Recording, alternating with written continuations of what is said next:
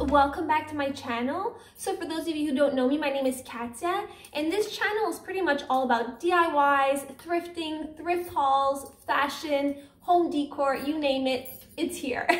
I just love it all. So anyway, for today's video, uh, I am actually, if you have been following me, you know that I just recently moved into a new home and what I wanted to do is start filming each room how I'm gonna decorate them. Living room, dining room, and kitchen are my favorites to decorate. So I'm gonna start off with the living room. I was looking for a huge coffee table, an oversized, massive, expensive, sort of Indonesian looking um, coffee table. And so I was looking everywhere and the price point was crazy. So what I decided to do was do a DIY and do it myself. I went to this um, this place where they sell a whole bunch of barn wood. I'm gonna take you guys along with me in this video. I'm gonna show you how my table ended up coming out. I am super proud, super happy. It's so simple, guys, too.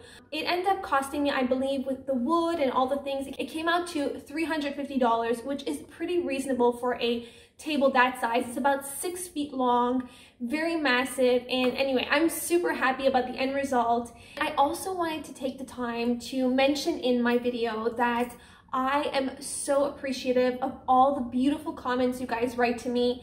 I read each and every one of them and they melt my heart. They make my day. If I don't answer, don't take it personally. I literally, it's just, there's so many that it's hard to keep up, but I am so grateful. I love you guys. I'm so grateful for all the love and support you give me. So anyway, I did want to put that in there because I don't want you to think that I'm not thankful at all. We're going to jump right into this video. I hope you enjoy it. Let's get started.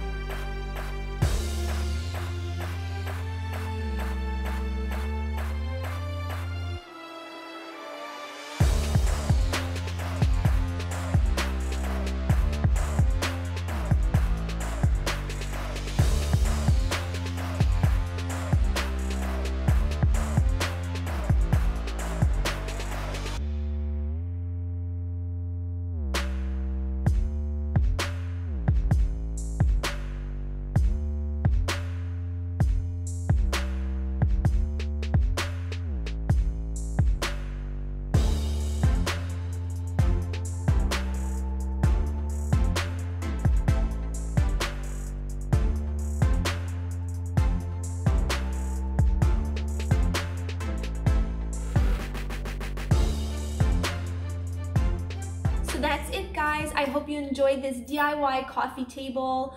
I am super happy about the end result and I hope you guys love it as much as I do. For my next video, I was thinking since I haven't done one in a very long time, I'm thinking of doing a fashion video for my fashion viewers that have been asking for it.